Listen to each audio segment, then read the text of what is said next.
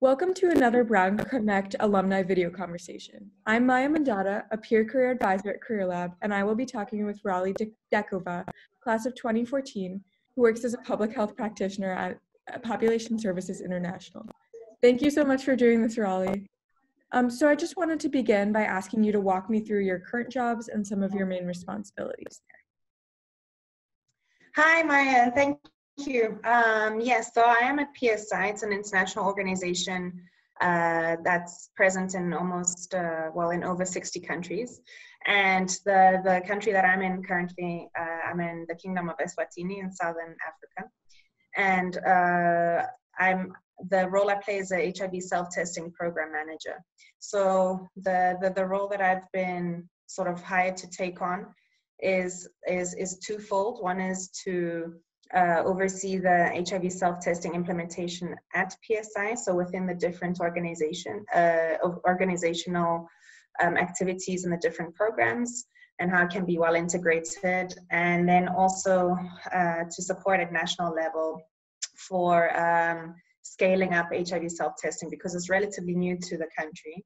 Um, with, for example, the only the first pre-qualified um, WHO pre-qualified product coming into effect uh, just only a couple of years, uh, a few years ago, and um, self-testing itself coming to Swaziland now, Eswatini, um, in 2017 or so. So it's still like in the early um, phases, and uh, part of my role is to help um, transition that and scale that up and just provide whatever technical assistance the, the Ministry of Health would need. So it's on, on, on two different tiers. So in terms of scaling this project up, what does your typical day look like? Uh, yeah, so with the, with a, a typical day, the nice thing is there is no typical day, and that's one of the things I really like about the program and my and my work. But it will be, I guess, split into three, I would say. So the one would be like day-to-day operations. Does a team have enough stock? Um, do they need assistance from um, office level to maybe gain entry to a certain place? Um, any kind of miscellaneous things that could come up with the day-to-day operations.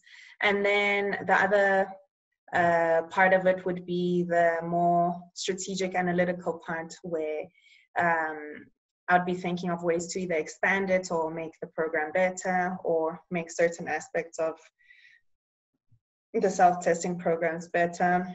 Also, um, the constant monitoring and evaluation that that um, you have in in, pro in projects um, to assess if it's still going well, if they if there are gaps, and so on. And then the other part would be kind of setting up meetings with different stakeholders attending different um, meetings that I'm invited to or impromptu ones that come up, uh, which can happen quite a lot over here. Uh, again, for like both um, national level um, discussions, but also sometimes um, partner to partner discussions or um, just at, at different levels, at different meetings.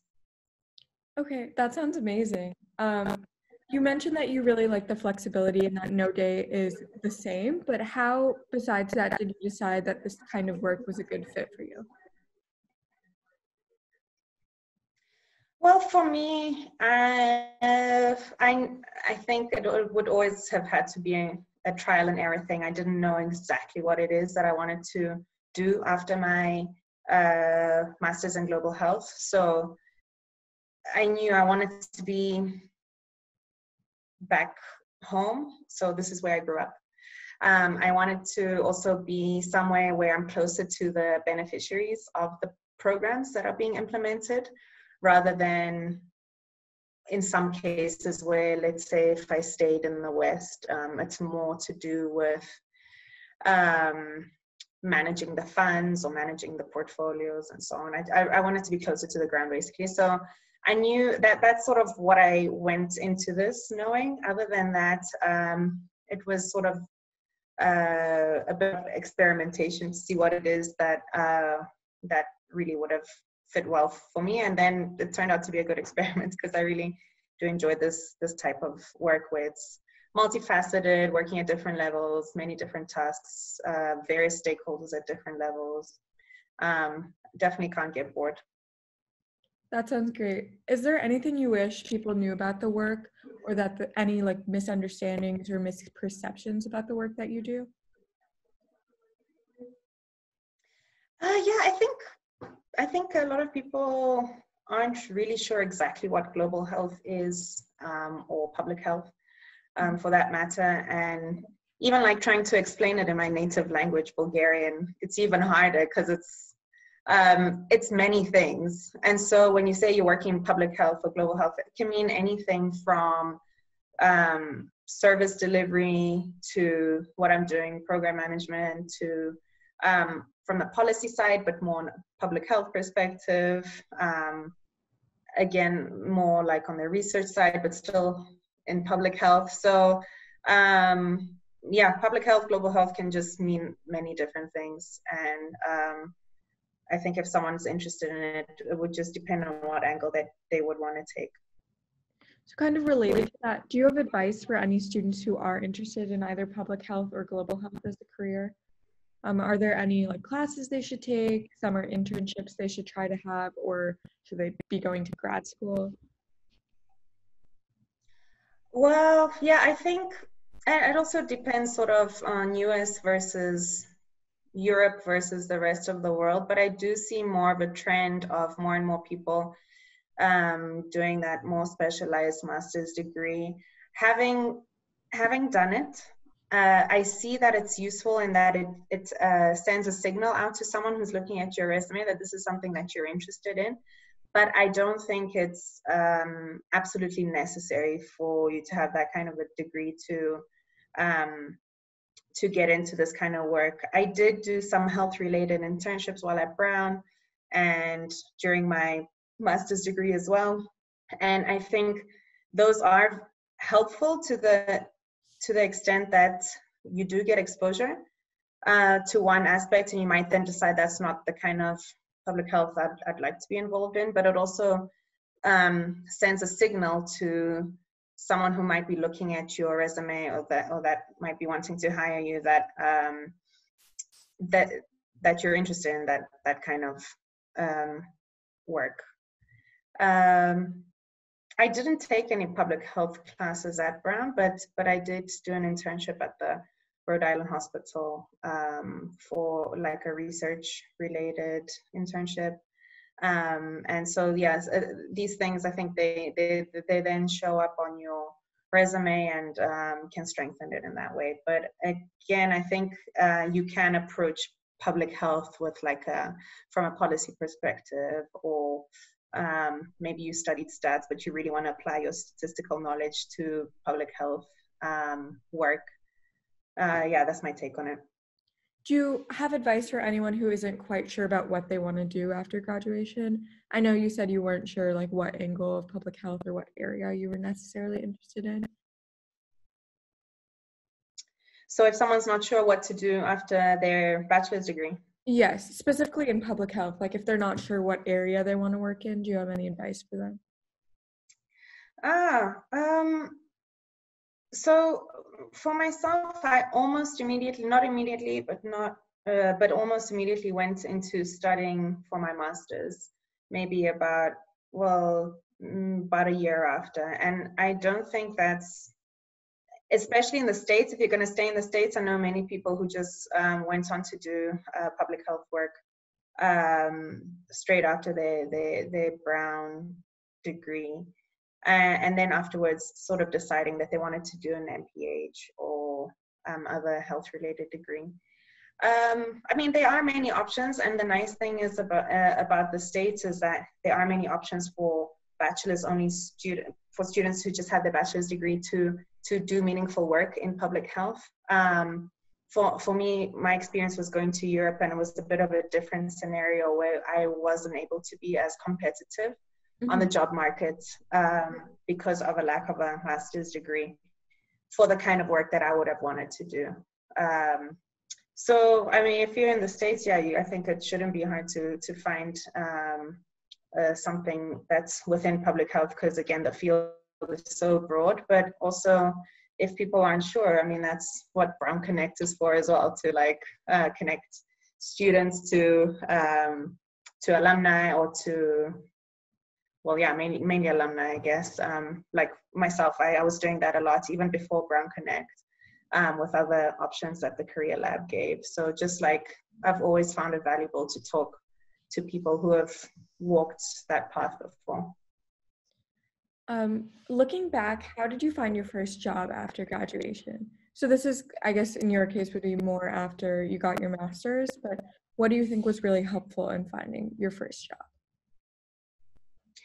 Well, for me, it was um, same thing as I was just saying. Is like talking to people who had either worked here or had experience here, or knew or knew people here who work in public health uh, that was very, very valuable for me. If, if not only learning about the public health landscape here in Eswatini, but also um, getting advice on if there's specific organizations to reach out to or people to reach out to. Um, the networking part has always been something that's been really valuable for me um, over the years, and and with finding a job as well. If not directly, like uh, it did definitely indirectly lead to to me finding a job.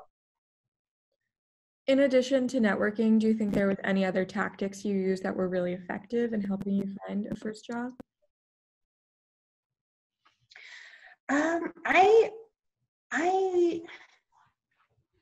and maybe not at the first job, but other opportunities as well. Like uh, I've it is kind of like networking, but uh, reaching out blindly to people who you don't know. I've done that before as well, and, and a lot of people are really just willing to help you find out more information.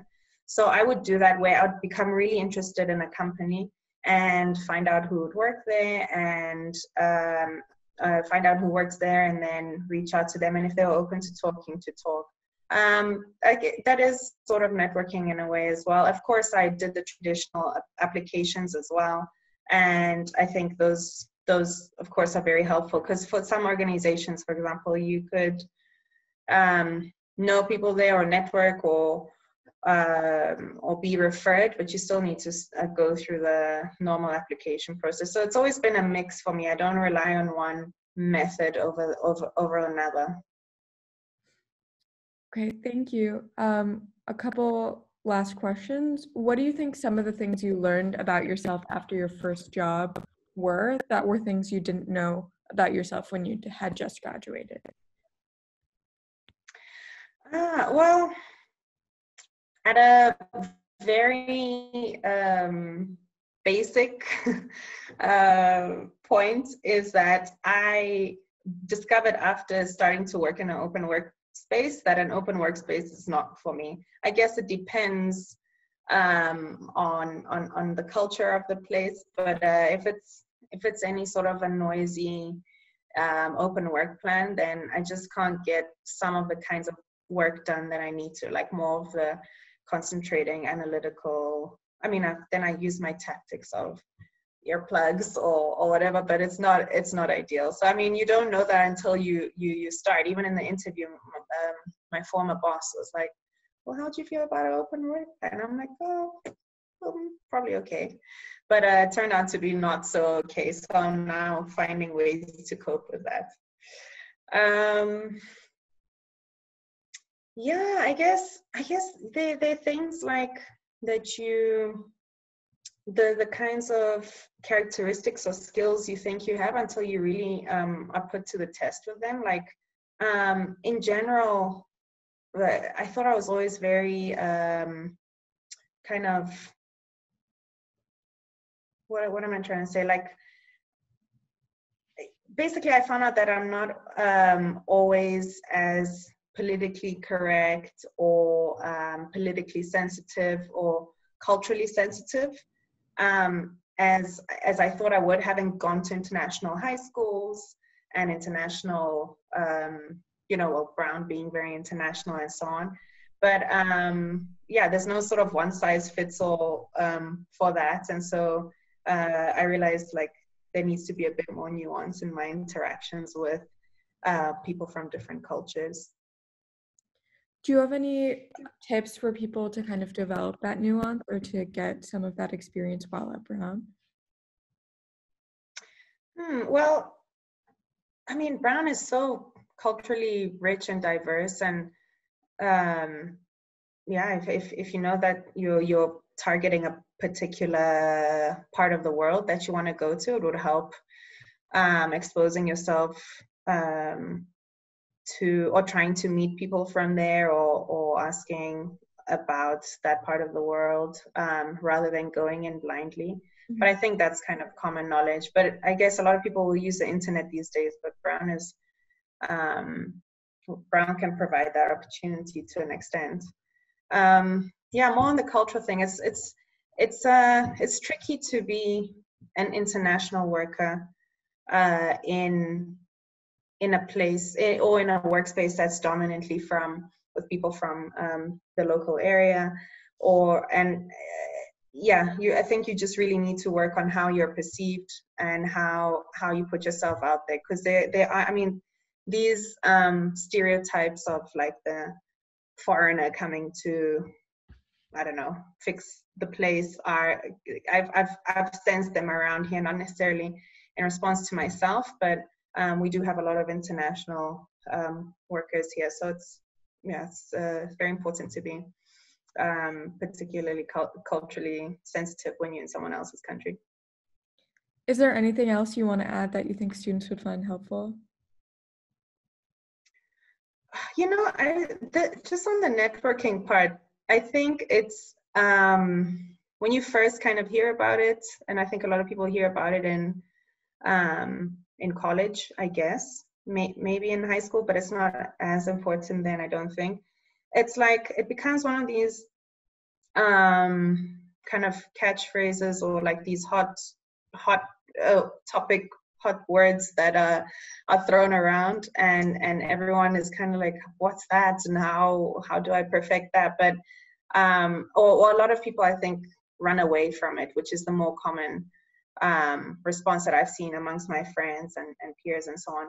But um, through practice and like through just doing it doing it more and not expecting too much and realizing that it's it's not like a scientific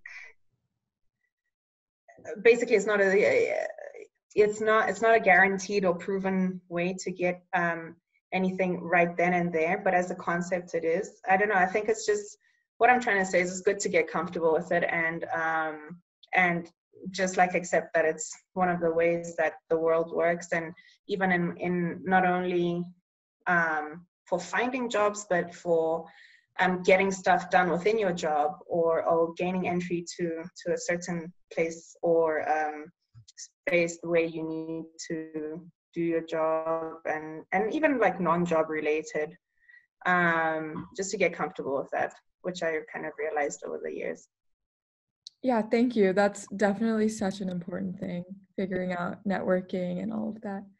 So, any anything else you want to add or No, no, that's it. Okay. Thank you all for watching this edition of Career Lab's Brown Connect alumni video conversation with Raleigh Dekova. We hope to see you next time. Thank you, Raleigh.